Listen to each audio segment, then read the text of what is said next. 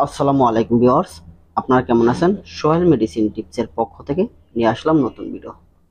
Viewers, আজকে যে মেডিসিনটি নিয়ে আলোচনা করব, হয়তোবা আপনারা আগে স্ক্রিনে দেখে ফেলেছেন। ট্যাবলেট সেলোফিন। এটি একটি ব্যথানাশক ট্যাবলেট। এই ট্যাবলেটটি কোন কোন ব্যথায় সেবন করা যায়, সেবন করার নিয়ম, সতর্কতা পার্শ্ব প্রতিক্রিয়া প্রাইস, সব বিস্তারিত আলোচনা করব। এই ভিডিওর মাধ্যমে। ভিডিওটি না টেনে সম্পূর্ণ দেখার সবাইকে অনুরোধ রইল। ভিউয়ার্স আর যারা এখনও আমাদের চ্যানেলটি সাবস্ক্রাইব করেনি, এখনই চ্যানেলটি সাবস্ক্রাইব করে নিন। নিত্য নতুন ভিডিও পাওয়ার জন্য বেল আইকনটি বাজিয়ে দিন।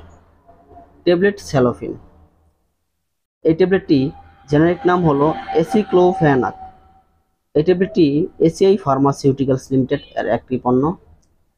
সেলোফিন একশো এমজি প্রতি পিস চার টাকা করে কিনতে পারবেন যে কোনো ফার্মেসি থেকে। ভিউয়ার্স চলুন জেনে নেই, এই ট্যাবলেটটি কোন কোন ব্যথায় কাজ করে? যেমন অস্টিও আর্থাইটিস ব্যথায় ব্যবহার করা যায়, রিউমাট অ্যাট আর্থাইটিস ব্যথায় সেবন করা যায়। সহজ ভাষায় বলতে গেলে, হাতে পায়ের মাংসপেশি ব্যথা, হাতে পায়ের জয়েন্ট ব্যথা, কোমর ব্যথা, আঘাতজনিত ব্যথায়, বাত ব্যথায় সেবন করা যায়। এমনকি দাঁত ব্যথায় ভালো কাজ করে এই ট্যাবলেটটি।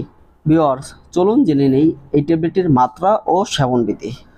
একশো এমজি করে প্রতিদিন দুইবার সেবন করতে পারেন খাবারের পর, সকালে এবং রাতে।